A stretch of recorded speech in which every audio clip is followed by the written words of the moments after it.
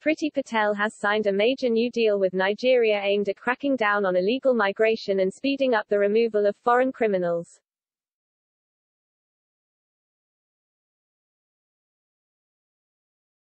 The Home Secretary described the Memorandum of Understanding as a landmark agreement that was an example of Brexit Britain's new immigration plan in action.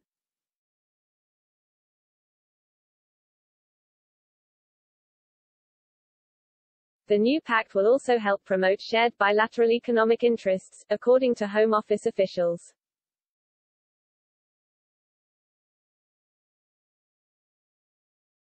Under the agreement, both countries will issue emergency travel certificates or temporary passports within five days in order to speed up removal.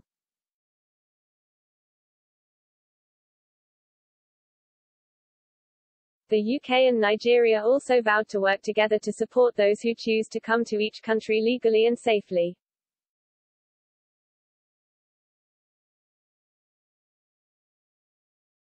Ms. Patel said, It is an important development that the UK and Nigeria have signed an agreement to cooperate on migration issues, to tackle illegal migration and the significant threat it poses to both nations.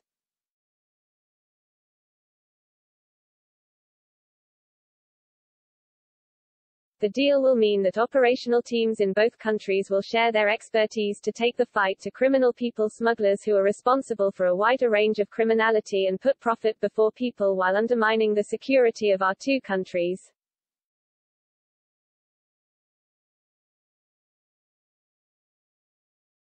This landmark agreement will increase the deportation of dangerous foreign criminals to make our streets and country safer.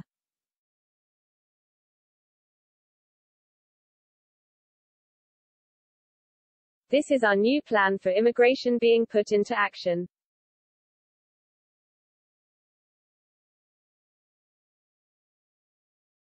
The agreement was struck on the same day a flight departed the UK to return Nigerian illegal immigrants.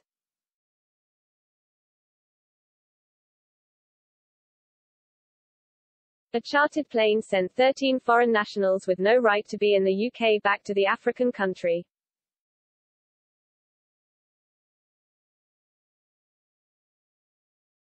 Eight of those removed were returned for criminal activity, while the other five had illegally entered the UK.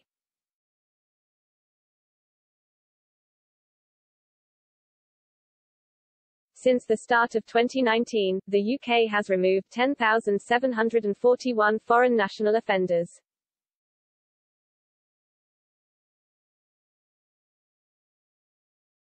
The UK has sought to step up its efforts to tackle illegal immigration in recent months.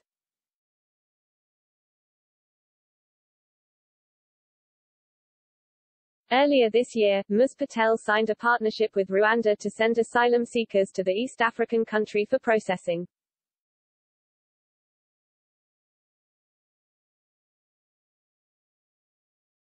Ministers hope the deal will help stop people from making the dangerous journey across the English Channel in small boats if they know they will immediately be removed again.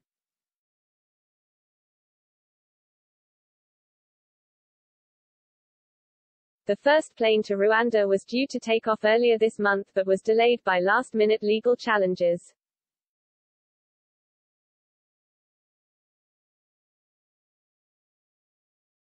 The European Court of Human Rights ECHR, blocked takeoff after granting an interim injunction against removals.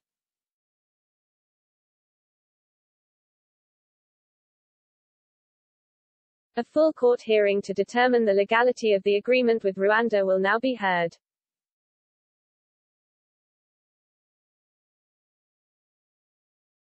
It is thought it could take a year for a full hearing to be heard.